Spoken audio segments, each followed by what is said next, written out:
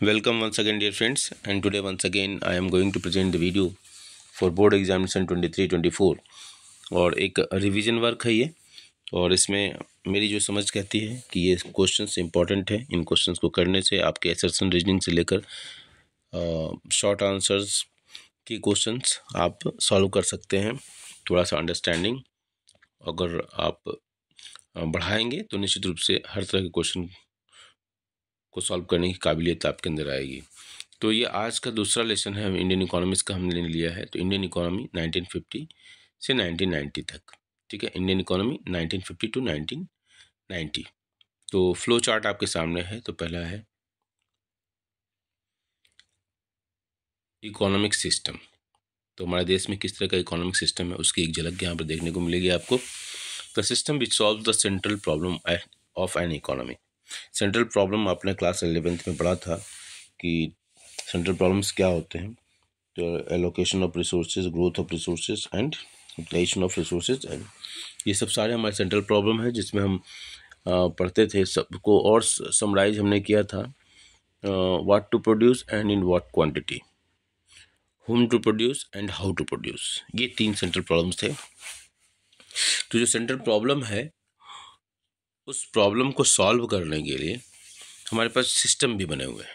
तो जो सिस्टम आपके स्क्रीन पर दिखाई दे रहा है मार्केट और कैपिटलिस्ट सिस्टम कैपिटलिस्ट सिस्टम मतलब मार्केट फोर्सेस के आधार पर प्राइस का डिटर्मिनेशन होता है मतलब उसके टूल्स क्या हैं मार्केट फोर्सेस जो क्या हैं तो है डिमांड और सप्लाई सोशलिस्ट और सेंट्रली प्लान्ड इकोनॉमी ठीक है, जिसमें यूएसआर लीडिंग रोल पे था union of Soviet socialist republic और कैपिटलिस्टिक ब्लॉक का लीडर था America USA united states of America और इन दोनों ब्लॉक से भारत ने जुदा, अलग, एक सेपरेट किसी भी ब्लॉक में नहीं रहने का निर्णय लिया, और तब वो जाके एक सिस्टम निकल कर आया मिक्सड इकोनॉमी जहाँ पर where there is a co presence of public and private sector. Public sector represents the socialistic or centrally planned type. And uh, दूसरा जो सिस्टम है प्राइवेट सेक्टर जिसको कहते हैं वो हमारा कैपिटलिस्टिक ब्लॉक को रिप्रेजेंट करता था। कैपिटलिस्टिक सिस्टम को मतलब मार्केट इकोनॉमी को रिप्रेजेंट करता था। तो भारत में दोनों तरह का प्रेजेंस देखने को मिलता है। रेलवे फाइन एग्ज़ाम्पल ये हमारा सोशलिस्टिक पैटर्न पर है। और बहुत सारे इंडिविजुअल जो कंपनियाँ हैं अलग अलग नामों से तो वो हमारा कैपिटलिस्टिक सिस्टम मार्केट इकोनॉमी के ऊपर बेस्ड दिखाई देती। अब plan is a document plan होता है क्या? है हम, हमारे देश में प्लानिंग सिस्टम अपनाया गया नाइनटीन फिफ्टीज़ में नाइनटीन फिफ्टी में हमारे यहाँ प्लान बना प्लानिंग कमीशन की स्थापना हुई और 1951 से पाँच पाँच साल के लिए ये प्लान बनते गए 1951 से 56, 56 से 61 एंड सो ऑन तो प्लान है क्या?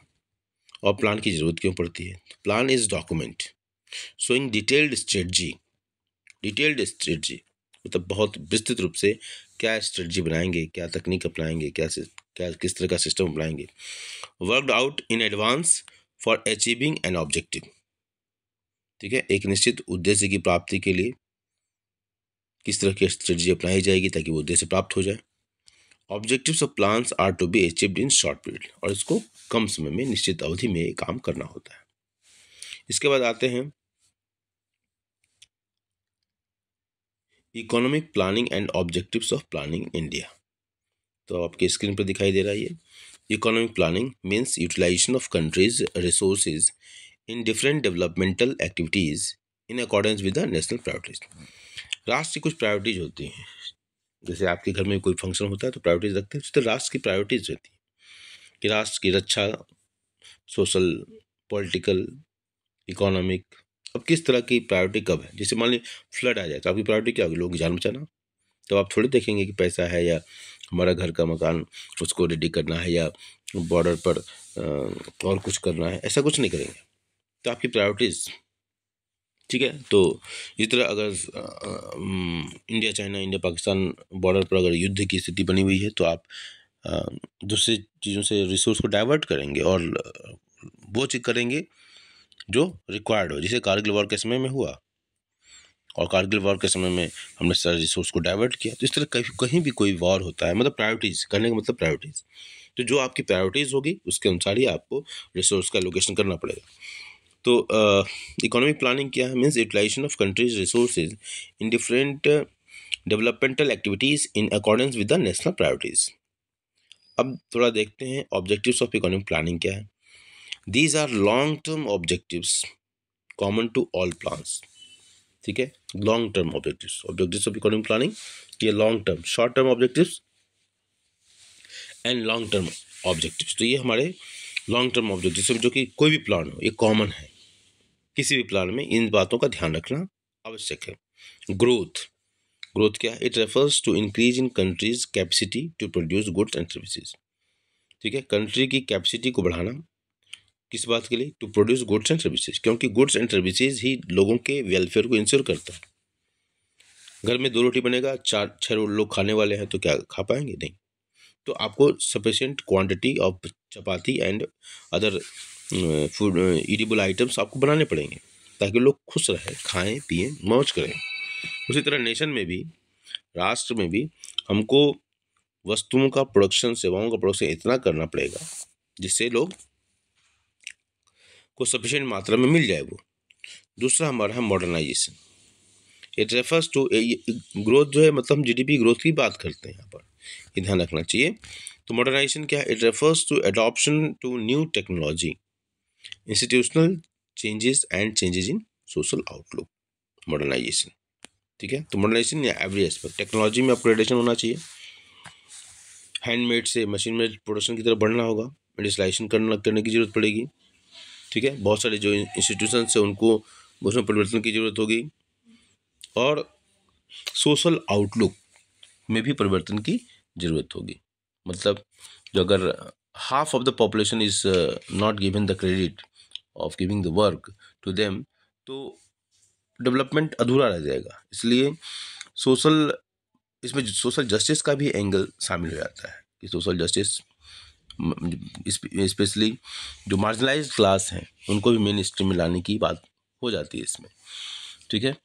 तो इसलिए प्रधानमंत्री आज के संदर्भ में अगर देखा जाए तो बेटी बचाओ, बेटी पढ़ाओ, या ऐसे बहुत सारे प्रक्रम चल रहे हैं जो खासकर महिलाओं के लिए मुद्रा योजना ऐसी बहुत सारी चीज़ें चल रही हैं जो कि फोकस किया जा रहा है।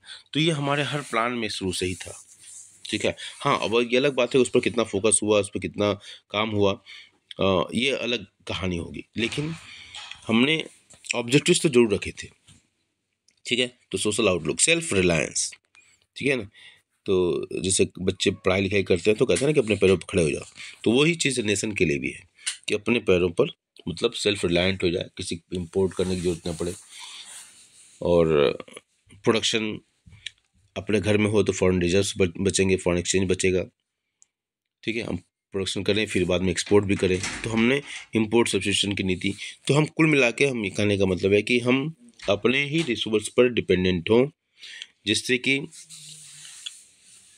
हमको बाह्य प्रभावों में आने की ज़रूरत ना पड़े। कई बार हम जब डिपेंडेंट हो जाते हैं तो बहुत तरह के प्रेशर्स को सहना पड़ता है। आईएमएफ वर्ल्ड बैंक दूसरे कंट्रीज़ का प्रेशर तो वो चीज़ें नहीं होनी चाहिए। जो आदमी सेल्फ रिलायंट होता है जब नेशन सेल्फ रिलायंट होता है तो वो दूसरे के प्रभाव में नहीं आता। अपने डिसीज़न इंडिपेंडेंट लेता है। इन, उसकी इंटीग्रिटी बनी रहती है। उसके इंटरनल अफेयर्स में कोई इंटरफेयर नहीं कर सकता है। तो self reliance economic self reliance is very important it means not depending on external help It targets non-interference by foreign countries in areas of food supplies, capital investment and debts. तो इस ये हमारा self reliance का मतलब है। Equity बहुत ही important सारे प्रयास व्यर्थ हो जाएँगे अगर इक्विटी न हो। मतलब डिस्ट्रीब्यूशन ऑफ़ रिसोर्सेज बराबर ना हो। मतलब वेलफेयर का कॉन्सेप्ट मिसिंग हो जाएगा। इसी को देखते हैं it aims that economic development is shared by all the citizens to promote social justice क्योंकि अल्टीमेटली हमारा तो सोशल जस्टिस है ना। सब कुछ हम करें और बराबर वितरण ना हो तो फिर वही दिक्कत हो जाएगी। ज़मींदारी सिस्टम जैसे एग्रीकल्चर में देखा होगा आपने, वो किस तरह से एक्सप्लाइटेशन होता करते थे अंग्रेज़। भारतीयों के माध्यम से ही अंग्रेज़ एक्सप्लाइटेशन करते थे अपने लाभ के लिए। एक न्यू हम, एक नेक्स्ट हमारा है फुल एम्प्लॉयमेंट ठीक है? अधिकतर किताबों में हम यही हम इक्विटी सेल्फ रिलायंस मॉडर्नाइजेशन और ग्रोथ ही देखते हैं। और इससे फुल एम्प्लॉयमेंट भी आजकल मैं कुछ किताबों में देख रहा हूँ। खैर आप बाद में इसको जो, जोड़ा गया था। तो ये आप जब भी बोला जाए ना कि ऑब्जेक्टिव्स ऑफ़ प्लानिंग तो पहले तो आप यही चार प्रायोरिटी रखेंगे। इसके बाद तो फिर ये फुल एम्प्लॉयमेंट पर आप देंगे, ठीक है? इसका ध्यान रखेंगे आप। क्योंकि हमारा बाद में इसको ऐड किया गया था तो full employment a situation when everyone who is able and willing to work at the market wage rate is working ठीक है, इसी को हम फुल एम्प्लॉयमेंट कहते हैं, कि जो मार्केट में जो वेज रेट है हाँ उस रेट पर लोग तैयार हों काम करने के लिए तो उसको हम फुल एम्प्लॉयमेंट का नाम देते हैं। तो ये भी हमारा एक ऑब्जेक्टिव्स की तरह आ गया है, और ये हमारा तो हमारे कुल पाँच ऑब्जेक्टिव्स मतलब पाँच पांडव की कहानी है, हमारे ऑब्जेक्टिव्स में इकोनॉमिक प्लानिंग के ऑब्जेक्टिव्स में।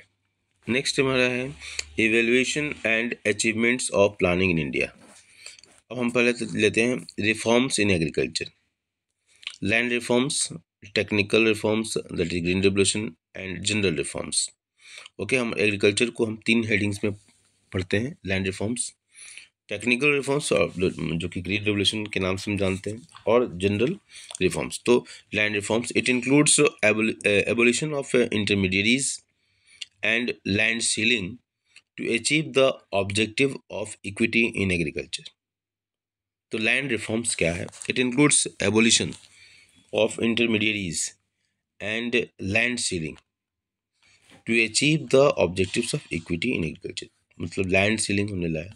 किसी के पास ज़मीनें हैं तो बहुत सारी ज़मीनें हैं। ज़मींदारी सिस्टम का नाम सुना ही है आपने। तो हैव एंड हैव नॉट्स की जो स्थिति है, जो गरीब है, बहुत गरीब है, जो अमीर है, बहुत अमीर है। इस तरह की स्थिति एग्रीकल्चर में थी। मतलब जिनके पास ज़मीनें हैं, बहुत ज़मीनें हैं, जिनके पास ज़मीनें नहीं है, वो लैंडलेस है। और ऐसे ही लोग माइग्रेट करते थे। कहाँ? तो कोलकाता मुंबई दिल्ली ऐसे जो जो महानगर है वहाँ ऐसे माइग्रेशन देखने को मिलते खासकर बिहार में में ये स्थिति ज़्यादा देखने को मिली। वहाँ से लोग माइग्रेट करते थे और इंफ्रास्ट्रक्चर सरकारों ने उतना ध्यान भी नहीं दिया। इस माइग्रेशन के ऊपर फोकस भी नहीं किया। और ये सरकारों का काम होता है वेलफेयर में सरकारों का काम है वेलफेयर करना। और इस वेलफेयर को नहीं करने की वजह से माइग्रेशन ज़्यादा हुआ है स्पेशली बिहार से। पॉकेट्स में डेवलपमेंट हो गया। पंजाब में एग्रीकल्चर डेवलप हो गया। इंडस्ट्रियल बेल्ट कुछ बन गए गुजरात और महाराष्ट्र। तो इस तरीके का जो अप्रोच है तो उसको लैंड रिफॉर्म्स जो कुछ जगहों पर लैंड रिफॉर्म्स सफल भी रहा। साउथ के, केरला में कुछ हद तक सफल रहा। ज़्यादातर वहीं पर सफल रहा। वेस्ट बंगाल में कुछ हद तक रहा सफल। दूसरा है हमारा technical reforms green revolution it refers to large increase in production of food grains resulting from use of high yielding variety seeds using regular supply of water and use of fertilizers and pesticides. तो high ये green revolution है क्या? Norman बॉर्डलॉन्ग ने Argentina में एक प्रयोग किया था, जिसमें गेहूँ की फ़सल जो है काफ़ी मात्रा में हुई। और वो प्रयोग जो है भारत में भी उसको अडॉप्ट किया गया। 1966 मिड ऑफ़ सिक्सटी में। Sorry mid of sixty six sixty five sixty six तो मिड ऑफ़ सिक्सटीज हो गया। तो उसमें इसको, इस प्रयोग को किया गया। तो इसमें है क्या? तो इसमें सबसे बड़ा थी, उन्नत प्रकार के जो बीज थे मैकेनाइज एग्रीकल्चर है बेटर इरीगेशन फैसिलिटीज़ है। सो सबसे शुरू में इसको पायलट प्रोजेक्ट के रूप में शुरू किया गया था। तो ये क्या है? It refers to large increase in production of food grains resulting from use of high yielding variety seeds H Y B H I B मत समझ लीजिएगा। एच वाई वी है। बच्चे कभी कभी गलत करते हैं। तो एच वाई वी की जगह एच आई वी तो गलत मीनिंग बदल जाएगा। तो H H Y V seed high yielding variety seeds using regular supply of water मतलब बेटर इरीगेशन फैसिलिटीज़ हो गई and use of fertilizers and pesticides ठीक है? इन सबके सहयोग से प्रोडक्शन में बहुत तेज़ गति से वृद्धि हुई। And it it was seen in few crops very evident it was very clear that production and productivity has increase specially Punjab Haryana and uh, western UP and for rice it is a West Bengal तो इसमें green revolution का सबसे बड़ा फ़ायदा हुआ कि production and productivity both increase general reforms it includes provision of credit facilities irrigation facilities MSP ठीक है? तो इसमें क्रेडिट फैसिलिटीज़ किसानों को मिल जाए इरीगेशन की सुविधाएँ दी जाए, उसमें सब्सिडीज सब्सिडाइज्ड इरिगेशन फैसिलिटीज़ देना एमएसपी मिनिमम सपोर्ट प्राइस का प्रोविज़न देना, ताकि उनका उत्साह, उनका, उनकी इच्छा बनी रहे प्रोडक्शन करने की। अब हम रिफॉर्म्स इन इंडस्ट्री को देखते हैं। इस चरण में कि इंडस्ट्री में क्या रिफॉर्म्स किया गया? Role of public sector IPR 1956 और स्मॉल स्केल इंडस्ट्रीज़, ये हमारा इंडस्ट्री के अंतर्गत ये रिफॉर्म्स है। Role of public sector it was considered important to increase capital investment and achieve the objectives of socialistic pattern of society अब socialistic pattern of society को achieve करने के लिए समाज में समाजवाद, जिसको कहते हैं ना, ठीक है? इस तो एक इकोनॉमिक एस्पेक्ट है कि ऑनरशिप सरकार के हाथ में रहेगी तो पब्लिक सेक्टर है सरकार में के पास रहेगा इसका ऑनरशिप दूसरा इसका जो है इक्विटेबल डिस्ट्रीब्यूशन सबको मिले रिसोर्स ये ध्यान रखा गया। और प्राइस पर कंट्रोल रखना, ये बहुत बड़ा एक उद्देश्य था कि पब्लिक सेक्टर के माध्यम से कि प्राइस अंडर कंट्रोल्ड है। प्राइस राइज नहीं हो इंटरेस्ट सिचुएशन को कंट्रोल करेगा। क्योंकि प्राइवेट सेक्टर के अंदर मोटिव प्रॉफिट अर्न करना होता है तो वो महँगे कीमत पर बेच सकते हैं। तो उसको कंट्रोल करने के लिए पब्लिक सेक्टर एक निश्चित राशि, जो कि सबके लिए अफोर्डेबल हो। प्रॉफिट इनका मोटिव नहीं था। तो it was considered important to increase capital investment and achieve the objectives of socialistic pattern of society तो इन्वेस्टमेंट को हैवी इन्वेस्टमेंट करने के लिए, क्योंकि प्राइवेट इंडिविजुअल्स के हाथ में उतने पैसे नहीं थे, या कम थे जिससे जिस हिसाब से हम चाहते थे कि डेवलपमेंट हो, इसके लिए हमको एक मास इन्वेस्टमेंट की ज़रूरत थी, बड़े पैमाने पर इन्वेस्टमेंट की ज़रूरत थी and that can government can do इसके बाद आता है I P R industrial policy resolution 1956 ये बहुत ही इंपॉर्टेंट था. इनफैक्ट हमारा फ़र्स्ट इंडस्ट्रियल पॉलिसी थी ये. 1948 में आया था, लेकिन वो छोटे स्तर पर था, जिसमें इसको उतना इंपॉर्टेंस नहीं देते हैं। 1956 को हम इंपॉर्टेंस देते हैं। This resolution divided industries into three category तीन कैटेगरी में डिवाइड किया गया। उस समय के नीड के अनुसार ये सही लग रहा था। बाद में इसको जिस हिसाब से परिवर्तन की ज़रूरत थी, वो डिलेड चेंजेज हुए, इसलिए वजह से इकोनॉमी बैकवर्ड होती गई। Schedule one schedule A B C तीन कैटेगरी बनाई गई owned by government sector schedule A जो है सरकार, जिसका स्वामित्व होगा इसके ऊपर ओनरशिप गवर्नमेंट की होगी। Schedule B owned by government and private sector ये गवर्नमेंट और प्राइवेट सेक्टर का दोनों का होगा ज्वाइंट वेंचर की तरह और सी जो है owned by private sector completely private sector ठीक है? तो नेशनल इंपॉर्टेंस की जितनी थी वो ए में होंगी। ठीक है? जो बहुत स्ट्रेटजिक है वो ए में जाएगा। इस तरीके का एक कॉन्सेप्ट था। बी जहाँ पर दोनों की मतलब पहले कैटेगरी में ना हो। ठीक है? और अदर देन फ़र्स्ट कैटेगरी के एरियाज़ हों, वहाँ पर हम दोनों को प्राइवेट का भी ले सकते हैं। और जहाँ पर गवर्नमेंट नीड नॉट वर्क जहाँ पर केवल प्रॉफिट है जैसे कंज्यूमर गुड्स वगैरह है, इस तरह के सेक्टर में या private sector can play small scale industries they are defined with reference to maximum investment allowed on the assets of a unit small scale industries इसको तीन भागों में डिवाइड किया गया। एम्प्लॉयमेंट ओरिएंटेड है इक्वलिटी ओरिएंटेड है एंड इक्विटी ओरिएंटेड है।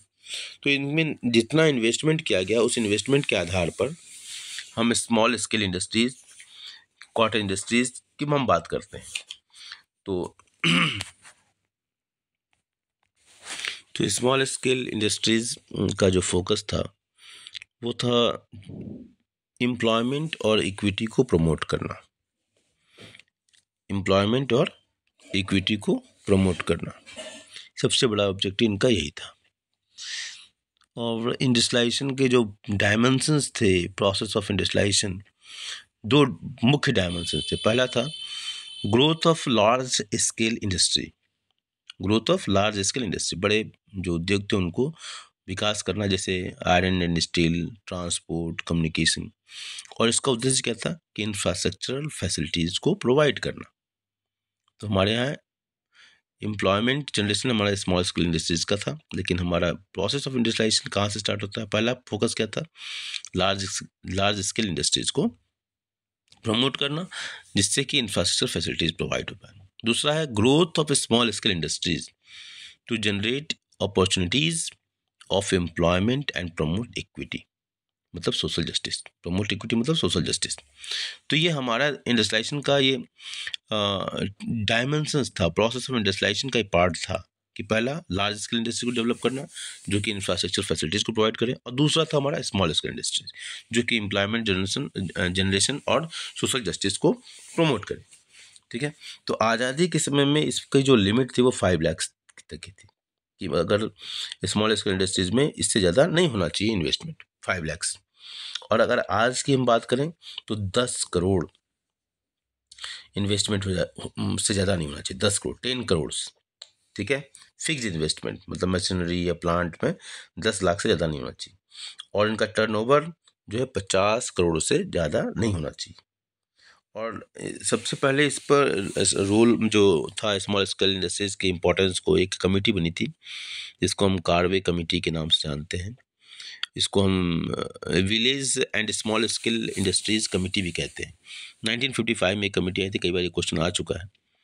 उसने तीन प्रिंसिपल की बात की। उस मतलब जो तीन मुख्य उद्देश्य थे, तीन मुख्य करेक्टरिस्टिक्स जो विशेषताएँ थी, जिसको कह सकते हैं स्मॉल स्केल इंडस्ट्रीज़ के लिए, कि पहला पॉइंट था जो उसके फेवर में गई।